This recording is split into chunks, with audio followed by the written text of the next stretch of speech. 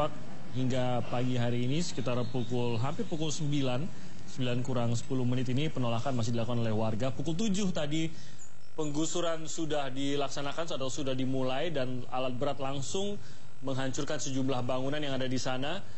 Dan akibat dari apa yang terjadi saat ini yaitu penolakan oleh sejumlah warga, sudah ada beberapa warga atau beberapa orang yang terlibat dalam aksi penolakan ini yang sudah ditahan atau diamankan ya. oleh pihak kepolisian. Memang ada data-data yang kemudian diungkapkan oleh para aktivis di mana sebenarnya tidak uh, begitu datanya atau tidak begitu banyak warga di beberapa eh, RT dan juga RW yang menyetujui relokasi ini sehingga bisa dilihat juga dampaknya pagi hari ini masih banyak warga yang bertahan tidak dengan rela membawa barang-barang mereka untuk pindah. Karena juga kita tahu bahwa uh, apa yang disediakan oleh pemerintah untuk tempat relokasi ini sebagian besar masih belum mencukupi.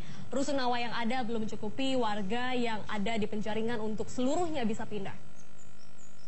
Nah, ini uh, ada beberapa juga aksi yang dilangsungkan untuk menghalangi petugas salah satunya tidur di jalan untuk memblokade pekerjaan petugas dan mereka menolak untuk dipindahkan. Anda bisa melihat para polon, para polisi wanita ini berusaha untuk memindahkan para ibu-ibu yang memaksa tidur di jalan untuk menghalangi petugas menggusur rumah mereka. Oh, kita lihat dari tadi memang penolakan ini tidak hanya dilakukan biasanya oleh para pemuda-pemuda di sana, namun kali ini sejumlah pemudi dan juga ibu-ibu tadi ikut ambil bagian dalam penolakan penggusuran yang dilakukan pada pagi hari ini.